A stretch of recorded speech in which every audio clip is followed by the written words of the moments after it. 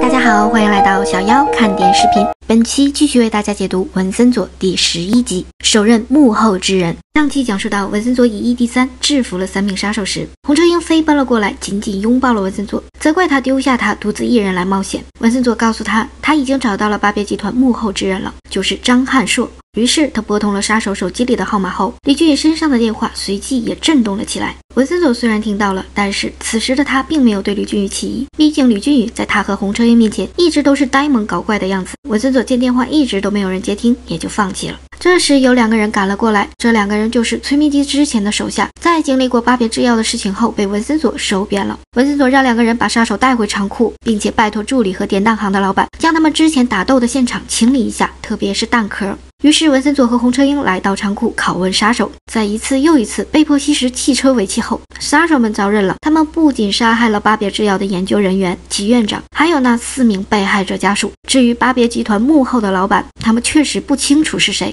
但是他们确定这个人应该就在韩国。得到了想要的信息后，红车英看着他们的眼神变得异常阴狠，他亲手加强了汽车尾气，送这几个人渣上了路。至于尸体的处理，就是直接连人带车沉进湖底，在回去的。路上，红车鹰好奇地问文森佐：“他怎么会有这么好的身手？”原来，文森佐为了生存，从小就接受搏击训练，而且他的老师曾是意大利特种兵。被红车鹰赶走的李俊宇来到了一处无人的角落，发泄着紧张的情绪。对于自己刚刚差点暴露，以及三个杀手就这样轻易地被文森佐干掉的事情，都让他感到非常挫败。在和崔明基商量之后，崔明基想到了一个简单的办法来处理掉文森佐。就在文森佐和大厦租客们开心地玩着黑手党游戏的时候，南东部地检以文森佐。涉嫌教唆他人杀人，逮捕了文森佐，并且还当众说出了文森佐是意大利黑手党顾问的事情。听到这个消息的租客们都惊呆了。到了警局里，警察拿出了一些受害者的照片，虽然没有充分的证据证明文森佐犯罪的事实，但是警察还是找了一些冠冕堂皇的理由，要将文森佐驱逐出境。就在洪车英和文森佐有些束手无策的时候，一直卧底的安组长帅气出场，他拿出了交接调令，将文森佐接手了过来。原来，在文森佐被带走后，安组长为了救文森佐，找到了自己的上司——国际犯罪机关的局长，用激将法刺激了局长后，他成功拿到了调令，然后就火急火燎地跑来救文森佐。多日以来，他一直观察着文森佐和巴别集团的周旋。他相信文森佐一定是个值得信赖的好人，所以他向文森佐请求，希望能让他加入到日后对抗巴别集团的行动中，并且他还有另外一个小愿望，就是能和文森佐拥抱一下。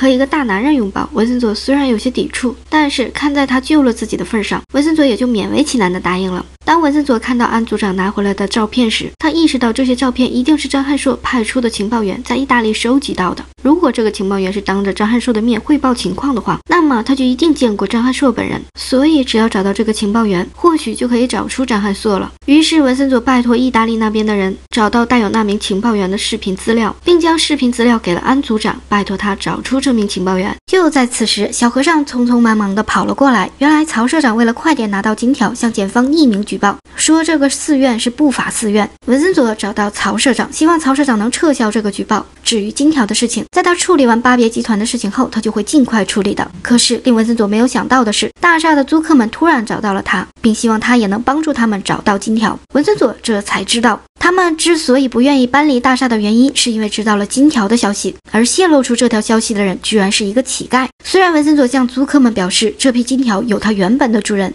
但是在大量金钱的诱惑面前，租客们给出了一个让文森佐气得吐血的答案：谁捡到，谁就是这批金条的主人。与此同时，安组长也找到了情报员的资料，于是文森佐找上了情报员，逼问他张汉硕在什么地方。可是没想到，这个情报员也是个狠人，让文森佐直接杀了自己，因为他清楚，一旦他出卖了张翰硕，他也活不过一个星期。可是，在文森佐一轮又一轮的恐吓后，他还是说了出来。张汉硕就是邮向律师事务所的张俊宇。文森佐给正和李俊宇在一起的洪车英打电话，告诉他不要说话，只要听就好。然后文森佐对他说出张俊宇就是张汉硕的事实。洪车英听后，眼神瞬间变冷，询问文森佐是否会按原计划杀了这个混蛋。回到家后的李俊宇遇见了从暗处走出来的文森佐，面对持枪指向他的文森佐，他原本还想装无辜，可是文森佐直接揭穿了他的身份。李俊宇并不打算求饶，并让文森佐直接杀了他。而文森佐也拉开了安全栓，眼中充满了杀意。随即一声枪响，本期到此结束，我们下期再见。喜欢的朋友请点赞关注我，爱你们哦，拜拜。